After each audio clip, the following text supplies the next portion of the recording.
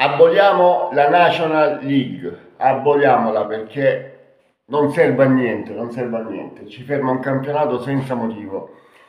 Allora ragazzi, buongiorno a tutti, buona settimana. E, ehm, allora, prima di iniziare volevo dirvi che alle 10.30 sarò, ho messo anche il post sulla community, alle 10.30 sarò ospite sul canale di Pietro Pani e parleremo mm, una mezz'oretta così. Se nel caso non, e lui poi la, pubblicherà il video dopo, se volete vedervelo sul canale di Pietro Pani, ve lo vedete, così parliamo un po' di Cagliari e di Lecce e vediamo che è successo nell'ultima giornata.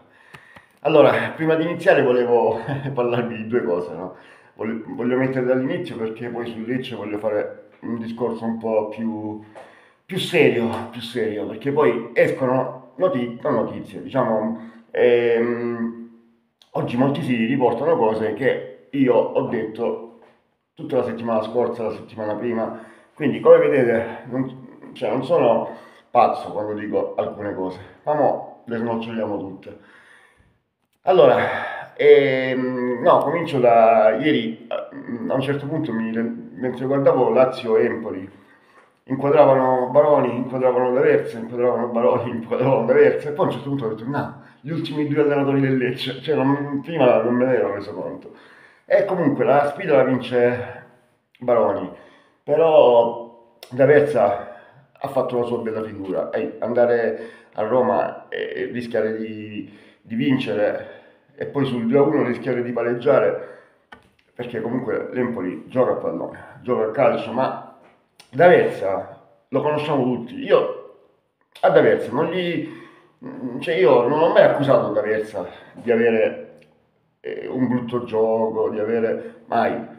Io ho sempre detto, D'Aversa a un certo punto, quando le cose sono andate male, non ne stava capendo più niente. Cioè proprio non riusciva a cambiare, non, eh, o si rifiutava di cambiare, io non lo so, però comunque andavamo sempre peggio fino a quando non siamo arrivati a quella partita. Lecce-Verona che lì sono usciti tutti i limiti del Lecce. Eh, ma, ma, non perché il Lecce non giocasse anzi il Lecce all'inizio campionato giocava e giocava pure bene. Poi mh, nelle difficoltà eh, non ha saputo mettere le mani. Mentre ho sempre detto di Baroni a Baroni dategli una squadra, dategli una squadra su cui lavorare.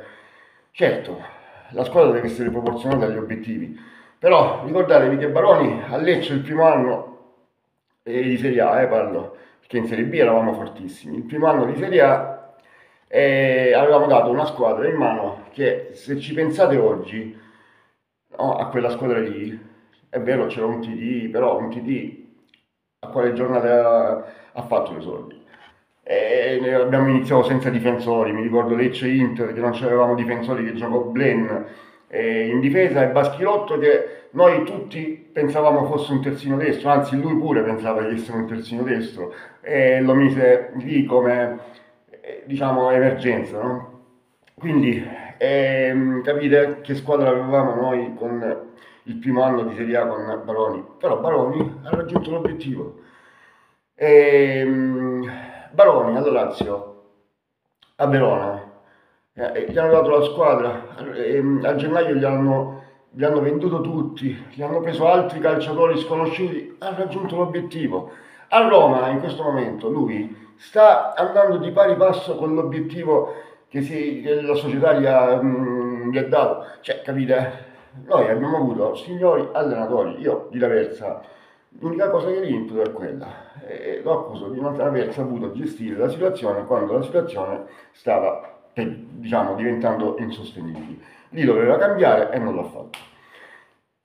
Padalino, leggo di Padalino, a Lecce sono stato mandato via da secondo in classifica, sì, in Serie C, Padalino, in Serie C, da secondo in classifica in Serie C, il Lecce se la doveva mangiare, la Serie C se la doveva mangiare, stai zitto Padalino, stai zitto, che il Lecce ha fatto una brutta figura davvero.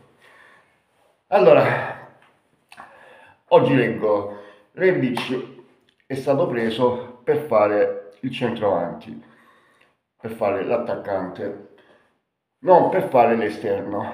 Ehi ragazzi, vedete, poi escono questi articoli che danno conferme, no? che confermano le mie convinzioni. Ma Rebic potrebbe anche farlo il laterale, cioè potrebbe, poteva fare il laterale prima, quando era più giovane, quando aveva più corsa. Oggi non lo può fare più, non lo può fare più perché oggi Rebic non può seguire l'avversario dietro, non può partire da così lontano. E, ehm, c'è la porta, ce l'ha troppo lontana. Rebic deve fare la seconda punta. Dobbiamo metterci in testa da, da verso Gotti. Per me Gotti non è in discussione, eh, perché ieri sentivo che molti dicevano Gotti se ne deve andare. Gotti è, è, diciamo, è uno che deve capire, però, deve capire che non si può essere sempre così, no? con i palaocchi, quello è il modulo e quello... Abbiamo un capitale, abbiamo un capitale, no? Un capitale per dire abbiamo eh, a disposizione un, un Rebic che da seconda punta potrebbe davvero fare male alle difese avversarie e nello stesso tempo potrebbe aiutare Kristovic, cioè Kristovic farebbe molto meglio con Rebic accanto, che se già l'anno scorso con piccoli Rebic è stato davvero, cioè con piccoli Rebic è stato davvero molto eh, pericoloso, è stato il momento migliore di Rebic, di Kristovic quando è stato, quando è arrivato Gotti che ha messo Re, piccoli davanti e a fianco a lui. Quello è stato il suo momento migliore.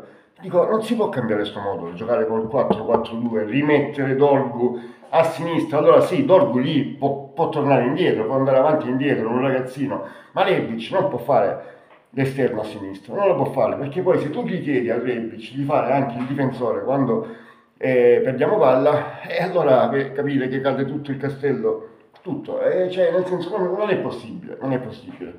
Rebic o lo metti davanti, se no lì non serve, è come avere un nome in meno, perché sì, ti fa la giocata, te ne fa due a partita, perché comunque la classe ce l'ha, ma basta. E poi, cioè noi abbiamo preso Rebic per farci fare due giocate a partita, no, no? E allora, facciamo in tempo, siamo ancora all'ottava partita, dobbiamo Mettiamo Rebic davanti, davanti, dobbiamo, Rebic deve giocare accanto a Kristovic, lì poi diventiamo pericolosi, diventiamo forti.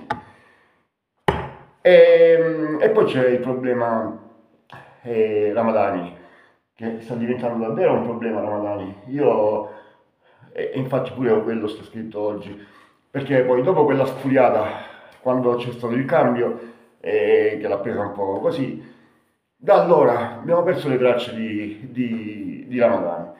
Io, mh, mm, però ecco, se Ramadani è un problema, diciamo, un problema oggi, però si può tranquillamente eh, mh, risolvere, anzi lo può risolvere lui stesso da solo. Il, il, problema dell'attacco è un problema serio, è un problema serio. In, in attacco non siamo pericolosi, in attacco creiamo poco facciamo tanto gioco come abbiamo fatto anche nell'ultima partita, no? La prima mezz'ora il pallone ce l'avevamo sempre noi, appena perdevamo il pallone subito pum e lo recuperavamo, però poi non, non ci avviciniamo alla porta, non, non siamo pericolosi. Con Rebic vicino alla porta faremmo, butteremmo fuoco, quello sto dicendo. Abbiamo Rebic, sfruttiamo Rebic, sfruttiamolo perché io Rebic non so se eh, mm, l'anno prossimo sarà ancora a Lecce, anzi non penso io penso che eh, farà un anno, sfruttiamolo, sfruttiamolo perché poi mh, mm, piangiamo l'anno prossimo, diciamo come? Avevamo Rebic e non l'abbiamo sfruttato per come dovevamo sfruttarlo?